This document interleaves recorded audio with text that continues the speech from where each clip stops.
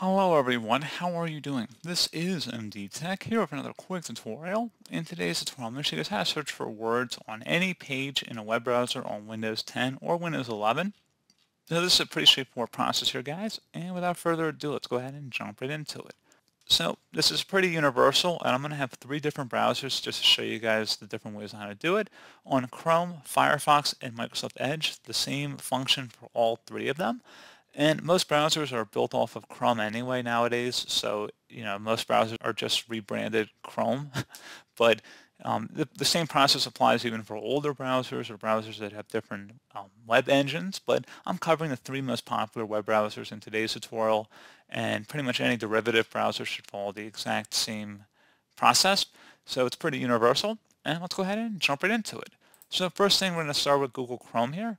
I'm going to tap the Control and the F key on my keyboard at the same time. So again, Control and F. And you see a little search box appears with a blinking cursor. You can just start typing in whatever you want to search for on the page, and it should appear here highlighted. Please keep in mind that if you're searching an image, it will not show up, so it can only search for actual text that you can copy and paste on a page. If it doesn't have text, if it's an image, it will not search an image for text. It's not that intelligent of a feature. At least not yet. Maybe in the future I could see being able to search for that. But that's pretty straightforward on that.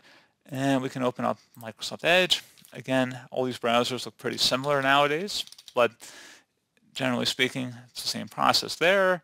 And then we will do the same on Firefox, except the shows up in the bottom left corner of the browser window. And there you go, guys. Simple as that like with the other browsers, there's little arrows you can go up and down, search for the next occurrence on that page, and it'll tell you how many appear on the page. So if I went back to Chrome, for example, you can go up and down. You can see there's two different occurrences on this page.